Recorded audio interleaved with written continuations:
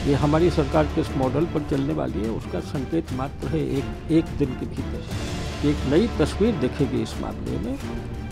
आज भी कसाईयों के पक्ष में खड़ी होना चाहती है क्या कांग्रेस? हम तो प्रभु से कामना करते हैं कि विपक्ष के लायक कांग्रेस बनी रहे। मध्य प्रदेश में खुले में मांस बिक्री और लाउड स्पीकर पर प्रतिबंध लगाए जाने के फैसले पर नए मुख्यमंत्री डॉक्टर मोहन यादव की तारीफ़ करते हुए जयभान सिंह पवैया ने उन्हें साधुवाद और बधाई दी है। उन्होंने कहा, इस पर अदालत ने पहले ही फैसला दिया था, लेकिन कुछ लोग मजहबी आज़ादी के नाम पर इस ध्वनि प्रदूषण को रोकना ही नहीं चाहते। मगर कुछ लोग मजहबी आज़ादी के नाम पर इस ध्वनि प्रदूषण को रोकना नहीं चाहते हैं। और कई राज्यों का इतिहास इस बात का गवाह है कि इस तरह के लाउड स्पीकरों से हिंसा, अराजकता और दंगों को जन्म भी मिला। उनके ऐलानों से और इसलिए ये कदम स्वागत योग्य है, उसी तरह मांस और अंडों की सार्वजनिक बिक्री क्यों होनी चाहिए? ये कोई साग भाजी तो नहीं है? कुछ मांसाहारियों के लिए किसी प्राणी की हत्या करके उसको आप बाज़ार में घुमाते घूमेंगे क्या, सब्ज़ी की तरह बेचते हुए?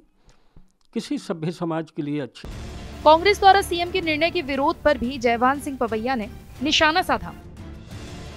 मैंने सुना है कि मध्य प्रदेश के पूर्व मुख्यमंत्री हैं कांग्रेस के। उन्होंने मांस अंडे की बिक्री लेकर बीजेपी से कहा है कि वो इस तरह की राजनीति कर रही है। मगर मैं कांग्रेसियों को कहना चाहता हूँ कि इतनी करारी पराजय के बाद भी विधानसभा में आज भी कसाईयों के पक्ष में खड़ी होना चाहती है क्या कांग्रेस? क्यों मांस बिकने के पक्ष में कांग्रेस खड़ी हो रही है? वो कह रही है कि हमको शिक्षा पर ध्यान देना चाहिए। अरे, पहले दिन ही हमारी सरकार ने मध्य प्रदेश के हर ज़िले में पीएम एक्सीलेंस कॉलेज खोलने की घोषणा की है।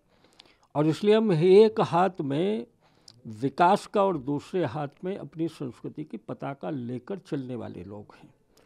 ये हमारी सरकार किस मॉडल पर चलने वाली है, उसका संकेत मात्र है एक एक दिन महाराष्ट्र के सह प्रभारी और भाजपा के वरिष्ठ नेता जयभान सिंह पवैया ने ये बात भी साफ़ कही कि हमारी सरकार किस मॉडल पर चलने वाली है। ये एक दिन के भीतर सिर्फ़ संकेत मात्र ही है।